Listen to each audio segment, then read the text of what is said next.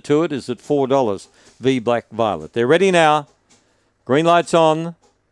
They're racing. Went up with the lids, uh, Browning Auto, and uh, clearing out early in the race with Sweet Jazz. Shows out clearly from Sassy Kiss going into second. Browning Auto going along the rail. They're followed by Enola Gay. V Black Violet is out very wide. Starting a bit of a run further back in the field was Fruitcake Mazakine on the home turn. Getting up on the rail is Sassy Kissed. Sassy Kissed is too strong. It beats Sweet Jazz, Browning Auto. Then came Fruitcake. Further back was V Black Violet and Mazakine with Enola Gay. 23 23, and your numbers are 3, 2, 1, and 7. Did a good job, Sassy Kissed. It moved into second not long after the start, trekked out after the leader, and reined it in in the home running. Half a length by five and a half. They spaced the rest.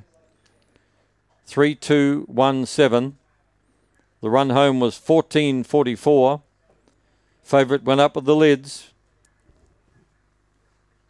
Was out of the race in the very first bound. The winner